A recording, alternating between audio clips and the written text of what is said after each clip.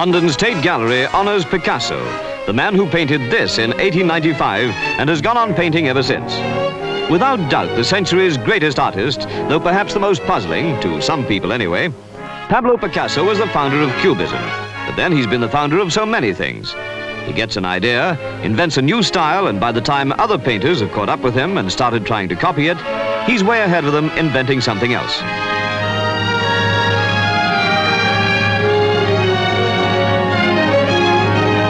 Millions of pounds worth of Picasso paintings have been borrowed from all over the world for this exhibition. Picasso's father was an artist too, but when Pablo was 13, he was already so brilliant that Dad gave him all his brushes and never touched another canvas. Since then, Picasso has faced critics and competitors and wiped the floor with them all.